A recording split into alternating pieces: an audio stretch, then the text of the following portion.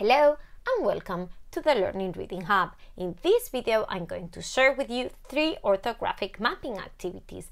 Two of them are for learning high frequency words, and the third activity, you can just use it for practicing any word really.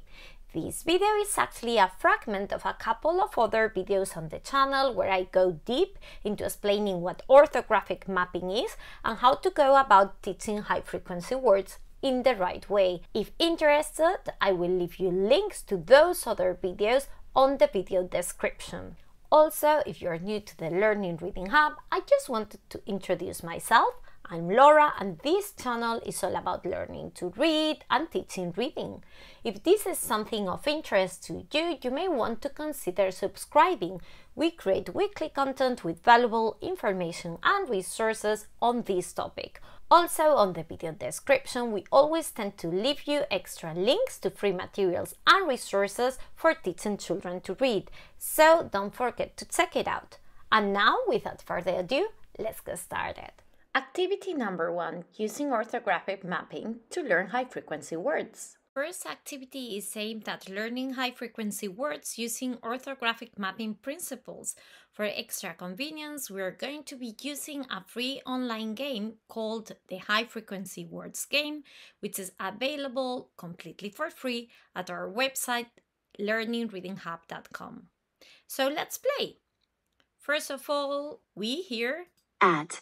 The How many sounds can you hear? we hear the high frequency word and then we're asked how many sounds can we hear in this case two Put so the letters in the right order. two boxes appear and then we need to put the letters in the right order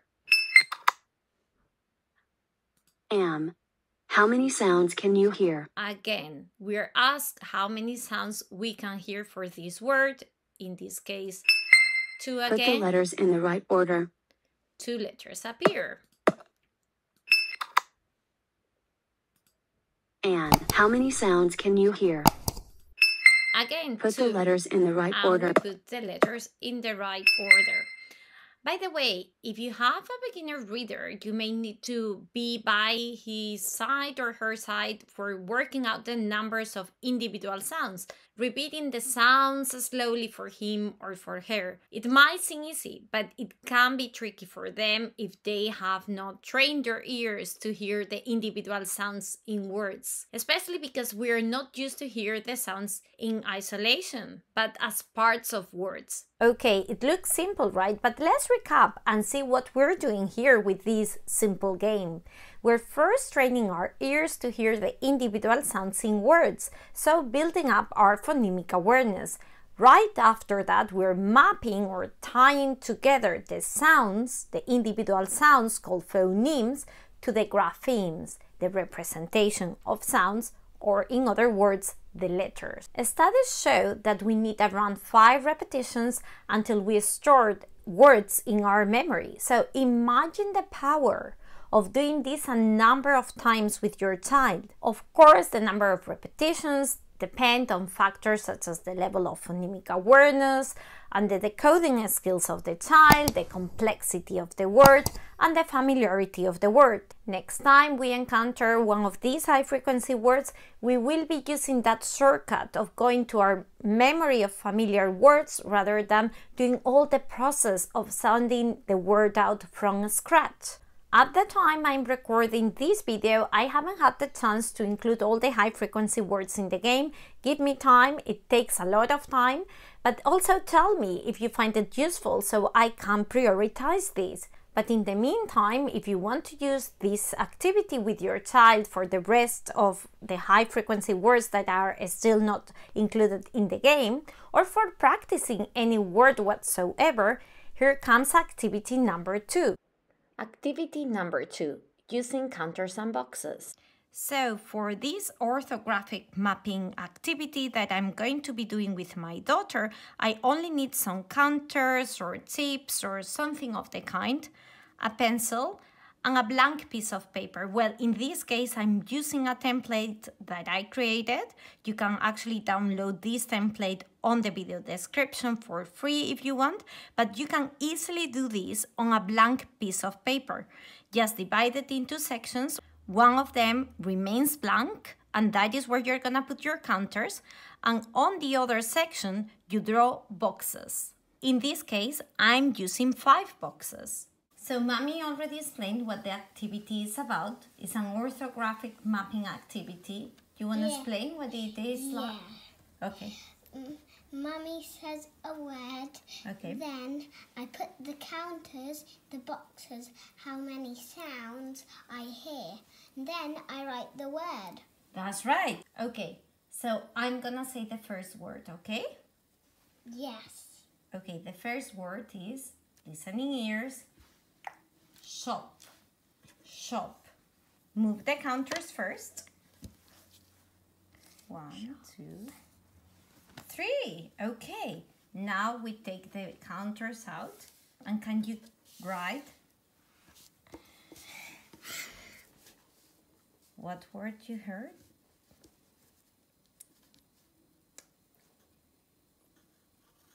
Listen.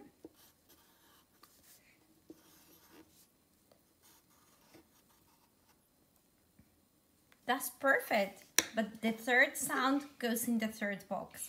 Sorry, So we erase that one and maybe you can put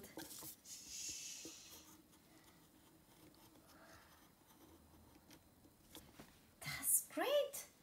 That's perfect. Okay. Oh, that looks like an N. That's fantastic. Okay. Next word, okay? Listening ears. Let's see if you need to fill all, all the boxes or not. It depends on the number of sounds. Okay, we have our counters. And the next One is and the next word is chop. Chop. chop. No, no, no. First move the counters.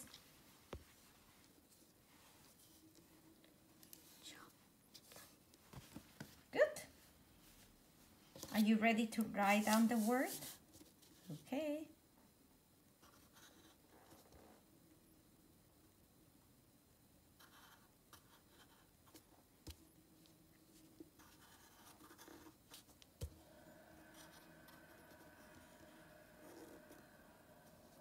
That's so good. Now re- let's read it. Chop.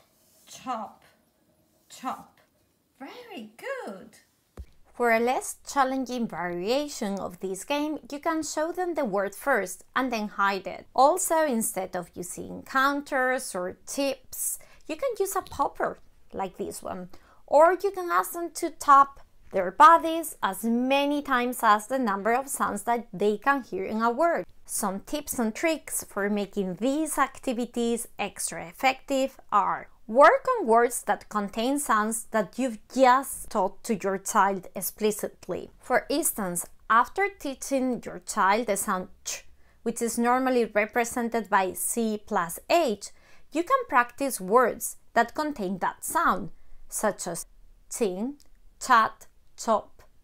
Or after teaching them about the sound V, which is represented by the letters T plus H, you can practice words that contain that sound, such as this, that, then, them, there. Tip number two. You can also use two similar sounds in the same way I did with my daughter to make sure that they fully understand the difference. Tip number three. Use orthographic mapping principles to teach irregular words. Don't think that this process only works for regular words that do not present unexpected spellings. No, it works just the same. Let's see how to go about it with irregular words then. The word said. Can it be explained phonetically? Well, yes and no.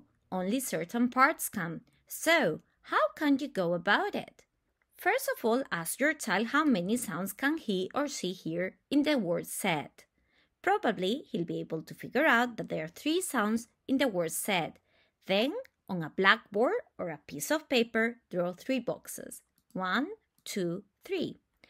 Now it's time to analyze these three individual sounds your child could hear and assign letters inside the boxes based on the sounds we hear.